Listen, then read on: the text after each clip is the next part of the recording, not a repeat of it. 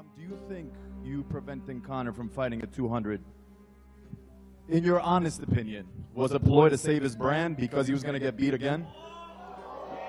I didn't hear it. Was it what? Was a ploy to save Conor's brand because he was going to get beat again?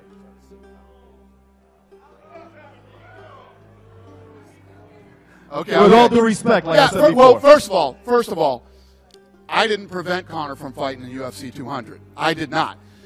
All, all everybody, if you looked at the press conference, Joanna Jacek flew in from Poland. Claudia came in from from uh, Brazil. He flew in from Brazil and, and then came here. I mean, people came in from all over the world. Frankie's just getting home and hasn't seen his family.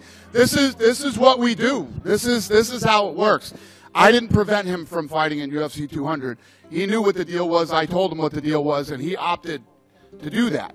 Um, and no, I'm not. Listen, I've said it a million. Conor asked to fight Nate Diaz. Conor wants to fight Nate Diaz.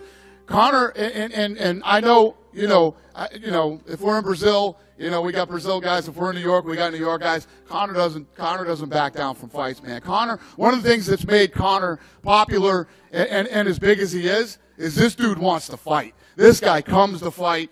And, uh, you know, he comes out guns a-blazing. Conor is fun. Conor is a stud.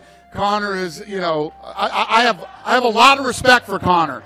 Conor and I just had, uh, you know, you have to show up and do the PR. You have to do it, you know.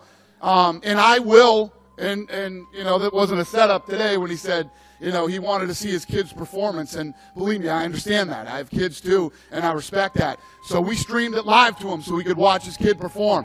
I'll do, you know, there were things that Conor needed. I was willing to make sure that Conor would have the things that he needed when he landed in Las Vegas, when he came to New York, or wherever else we went. You know, we don't just say this isn't just, hey, you have to do this. I will bend and I will do things to make it, you know, to make it work for these guys and girls. Um, and Conor didn't do it. That's the truth, the whole truth, and that's the way it is.